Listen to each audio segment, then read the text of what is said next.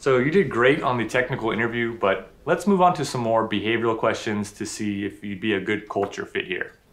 Got it. So tell me about a time you had a conflict with a coworker and what you did to resolve it. Yeah, lots of conflicts. Um, like this one time I was in the kitchen and I saw my coworker eat the last Oreo. And I could have said something, but I went back to my desk and I created a support ticket. Now, normally it's not meant for this type of thing, and I did get it talking afterwards. But this was an emergency. I mean, I can't work without my snacks. And the next day, kitchen was stocked and I was uh, sort of a hero at the office. Okay, let's take a step back. Tell me, why do you want to work for this company? I mean, I wanted to work here ever since I was a kid. This company's two years old.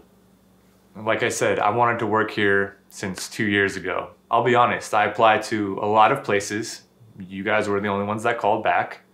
And I really need the money right now. Also, really loving the unlimited PTO. I'll definitely be taking advantage of that. And I heard you guys do free lunch on Fridays. Sign me up. So, what are you looking for in your next role? I'm looking for something with a good work-life balance. I have a lot of different side hustles. I have my softball league on Fridays, so I need to make sure I have time for all these. I meant more on a technical level. What are you looking for? Well, I'm looking to improve my Googling skills because that's a programmer's most important skill. And I'm just looking to build some websites, man. You know, JavaScript on the front end, JavaScript on the back end, JavaScript in the database. I know it doesn't make sense, but it kind of does. Also, in my boot camp, that was the only language they taught us. So, okay, last question.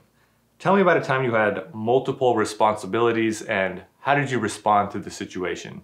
At my last job, I was building out a UI for a client and my manager also assigned me to a platinum performance team.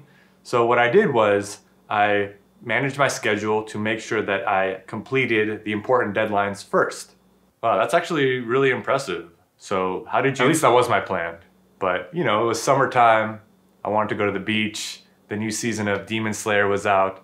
So eventually I did get put on a performance improvement plan and I never got off it. So now I'm here. So when do I start?